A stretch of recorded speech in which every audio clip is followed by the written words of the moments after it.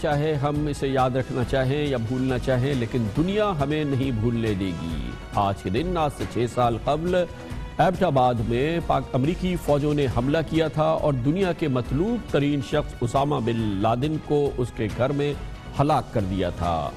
उसकी लाश को उठाया था, समंदर में फेंक दिया था। अमरीकी सदर बाराक ओबामा ने दुनिया को बताया था कि अमरीकी फौजों ने डेढ़ घंटे तक पाकिस्तान में ये ऑपरेशन किया था। पाकिस्तानियों के लिए बिला की नदामत थी, बिला की शर्म थी जो सामने आई थी और उसकी वजह ये थी कि ये एक ऐसे लम्हात थे जो पाकिस्तान को दुनिया में जिस हवाले से बदनाम किया गया कि यहाँ पर दरअसल दहशत गर्दों की पनागाहें हैं, पाकिस्तान दुनिया के मतलूब तरीन शख्स को ढूंढ नहीं पाया और यहाँ पर उसे अमरीकी फ़ौजों ने ढूंढा और फिर एक ऐसे फ़ौजी ऑपरेशन में हलाक कर दिया जिसमें कि पाकिस्तान जो एक जौहरी क़वत है, उसका, उसके पास उसका कोई जवाब नहीं था। पाकिस्तान की जानब से किसी किस्म का कोई रद्दमल इस फौजी ऑपरेशन के दौरान देखने में नहीं आया। ये वो सूरत हाल है जिसका के इजहार आज भी हो रहा है। फ़िल्में बन रही हैं, किताबें लिखी जा रही हैं, प्रोग्राम्स बन रहे हैं। और पता नहीं आने वाले वक्त में कब तक ऐसा होता रहेगा और इस हवाले से पाकिस्तान पर उंगलियाँ उठती रहेंगी उठती रहेंगी। मगर सबसे बड़ा अफसोसनाक पहलू यह है कि हमने इस पूरे वाक़े के हवाले से किसी को भी सज़ा नहीं दी है। हमारे यहाँ कोई शख्स इसका सजावार नहीं करार पाया है। कौम को नहीं बताया गया कि इस कौमी जिल्लत के ज़िम्मेदार कौन लोग थे।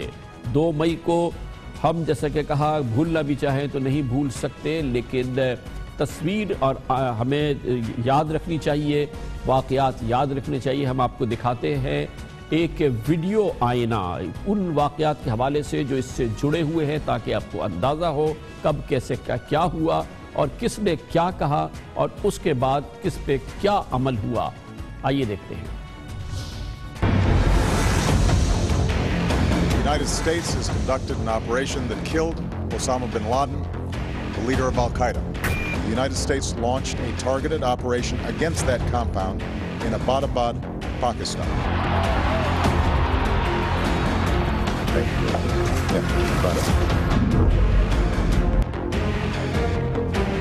We will not allow our soil to be used against uh, any other country for terrorism. Therefore, I think it's a great victory. It's a success. Pakistan government का और हमारी फोर्सेस का उसको पकड़ने में उसकी इंफॉर्मेशन में हाथ है और जो इंफॉर्मेशन हमें मिलती थी वो ही आगे हम ट्रांसफ़र भी करते थे that is a fact that there are people who probably protected him. Uh, we will do a full inquiry into finding out why our intelligence services were not able to track him earlier. Bin Laden पिछले कई सालों से एबटाबाद में मुकीम, जो agency सियासतदानों के ताकुब में लगी रहती है, सुबह और शाम सियासी शतरंज खेलती रहती है, वो अपनी नाक के ऐन नीचे क्यों नहीं देख सकी?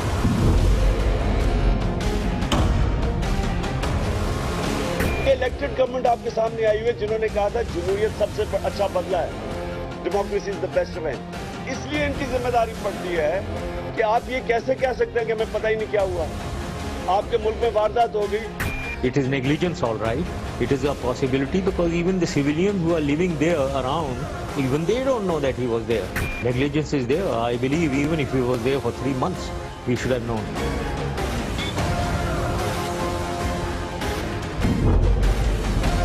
Osama bin Laden इस मुल्क में छह साल से कैसे रह रहा उस पर मैंने ये कमीशन बना दिया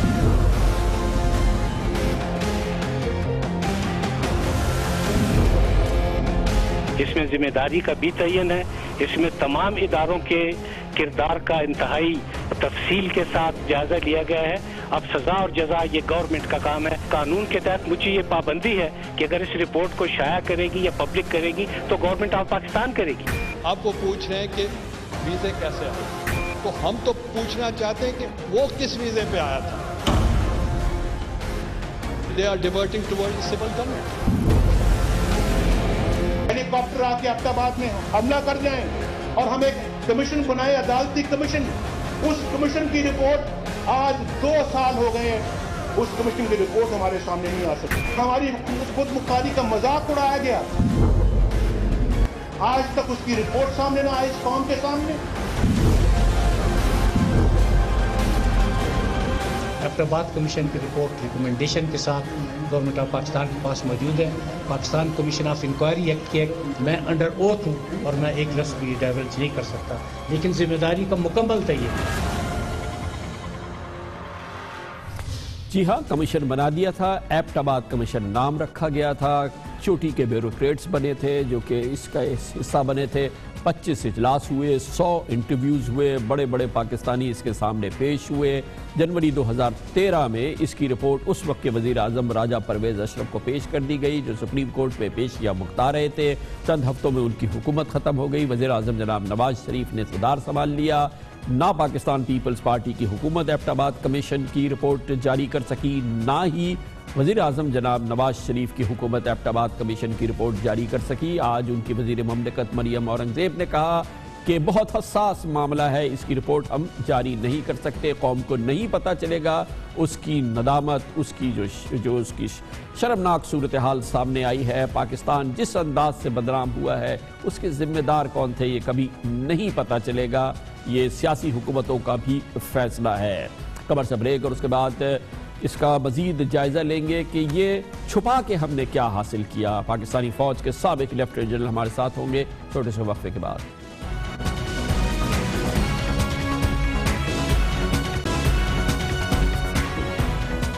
वेलकम बैक वक्फे से कबल हमने आपको एक वीडियो खबरनामे के ज़रिए साबित किया, दिखाया कि क्या हुआ था आज के दिन।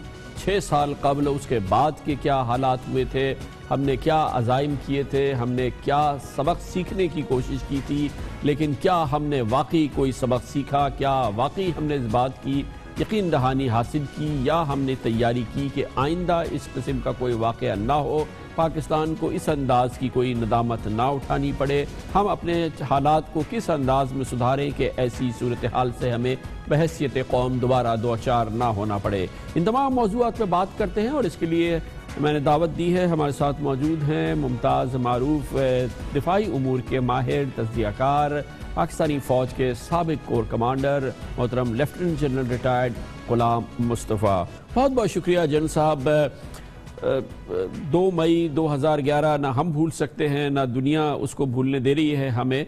आपके ख्याल में जो हमें इस वाक़े के बाद जिस तरह की सिचुएशन का पूरी दुनिया में सामना करना पड़ा और फिर पूरी सूरत हाल के हवाले से, हमने इस हवाले से मुनासिब लेसन लर्न किए?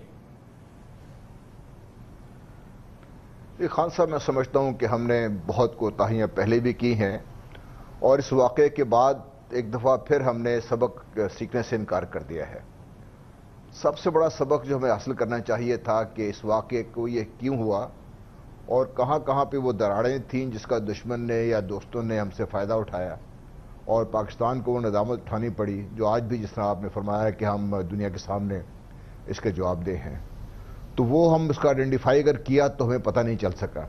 और अगर उनको दूर किया तो वो सामने इस तरीके से नज़र नहीं आ रही कि एक दफ़ा फिर आप देखते कि हमारी जो पॉलिटी है या जो हमारी जो सोसाइटी है या जो कह लें आप हुकूमत और अस्करी इदारे हैं या दूसरे इदारे हैं उनके दरमियान जिस किस्म की हम आहंगी हम चाहते थे जिसकी होनी चाहिए थी जिस चीज़ कौम को ज़रूरत है वो फिर नज़र नहीं लेकिन जल साहब जब ये वाक़ हो गया दो बड़े पहलू थे। एक तो पूरी दुनिया के सामने ये बात सामने आई कि जो दुनिया का सबसे मतलूब तरीन आदमी था वो हमारे दरमियान में छुपा हुआ बैठा था सालों से बैठा हुआ था।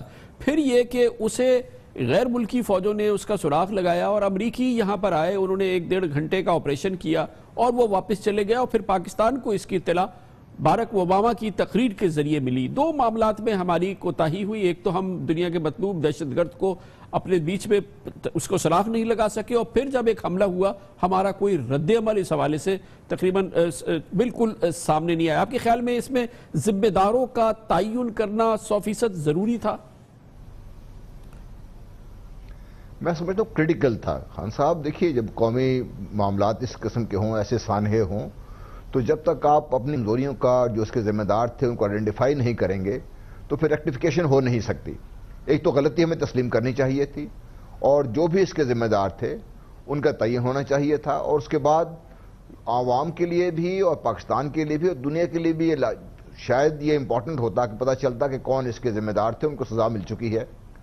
और दूसरा कि जो हमारे दिफाई लाइन में जिस तरीके से आपने फरमाया कि डेढ़ घंटे एक ऑपरेशन होता रहा और हमें इसकी इतला मिली और मिली भी बड़ी लेट और हमारे रिएक्शन अगर थे भी तो वो डिलेड थे या नीजक थे, उसकी वजह भी हमारे लिए नदामत है एक बहुत बड़ी, क्योंकि उसको अगर टाइमली डिस्कवर कर भी लिया जाता तो फिर उस वक्त भी हमारी जो रिएक्शन होता वो शायद और भी हमारे लिए शर्मिंदगी का बायस अच्छा बनता सर एक, एक, एक, एक चीज़ ये फरमाइएगा कि क्या मैं दुरुस्त हूँ कि मैं बिल्कुल नहीं समझ पा रहा बहुत डिप्रेस्ड फील करता हूँ कि ये इतना बड़ा वाक़ हुआ है।